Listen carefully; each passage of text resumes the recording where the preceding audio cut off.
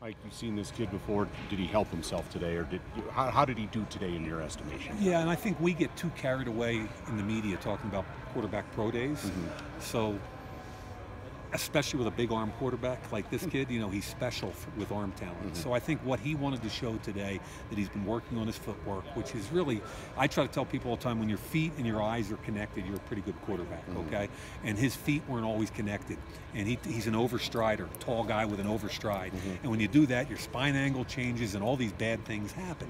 He's been working with Jordan Palmer, and what I saw today, what I wanted to see, way more consistent with his footwork and way more consistent with his accuracy.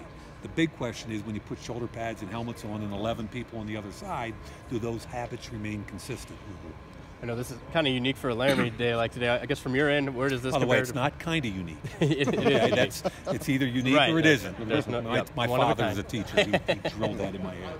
Uh, I guess from your angle, is it, Yeah. uh, where does this compare to maybe some of the you know places that you've gone to see players? Is this uh, from your angle also Yeah. pretty unusual to be out at maybe su- such a small venue like Wyoming? Look, I love this kind of stuff. Like Mm-hmm. when Carson Wentz came out and I was at North Dakota, you know, and I was taking pictures of the curling arena across the street and sending it to me. This was awesome.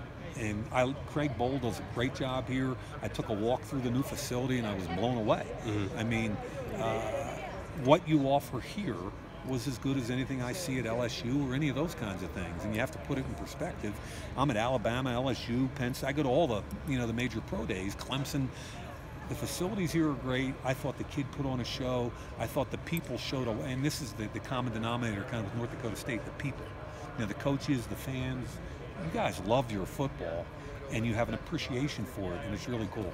So, Mike, I know you're not one drafting him, but where do you think Josh Allen fits into this mix with Darnold and Rosen and everyone Look, else? With, what do you with, think? with my my perspective is because of the intangibles. Well, I want I want to learn what kind of kid he was. Mm-hmm. I know what his physical talent and skill set is. Right.